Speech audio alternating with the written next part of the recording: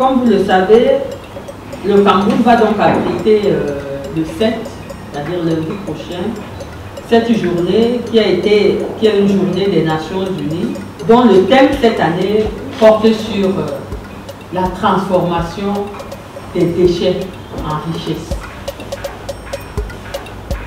La campagne a pour but en fait de promouvoir la participation collective des populations, de tous les acteurs que nous sommes dans l'entretien et la préservation de nos espaces et de renforcer en fait la mobilisation citoyenne, les bonnes pratiques citoyennes au sein de nos quartiers.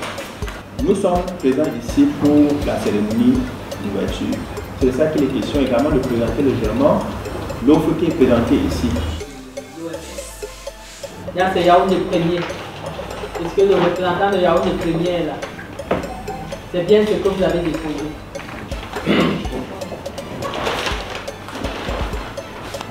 La commune de Yaoundé deuxième.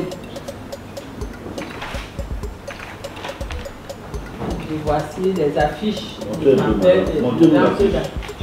L'affiche qui, a, qui, a, qui, ont, qui ont servi à la, à la sensibilisation.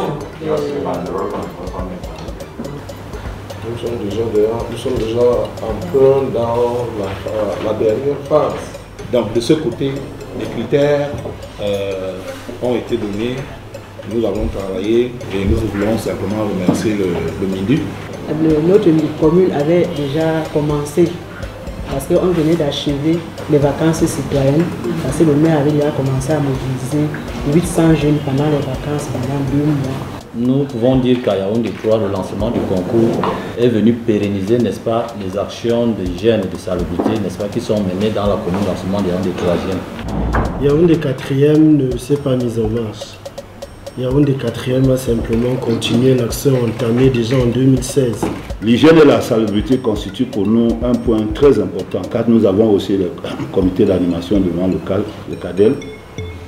Il faut vraiment que chacun de nous, nous travaillons pour que notre capital soit propre.